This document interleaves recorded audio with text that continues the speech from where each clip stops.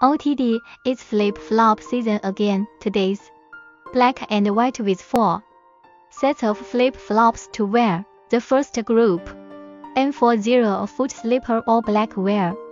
These two sets are before and after the fitness program. Before working out, put on a down vest and fitted work pants.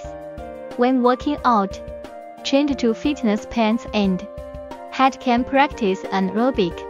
Second group, Japanese and American. Trendy wear with holey shoes.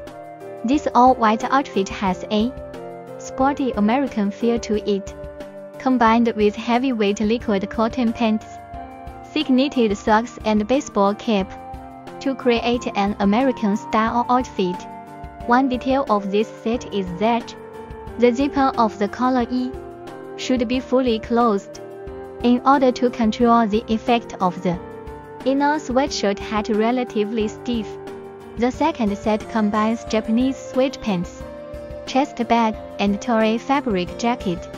The second set combines Japanese sweatpants, a chest bag and a jacket made of Toray fabric too. Create Japanese light outdoor frame with a few point ratio. Zipping up the neckline will definitely be cooler. Control the rhythm of black, white, black and white can be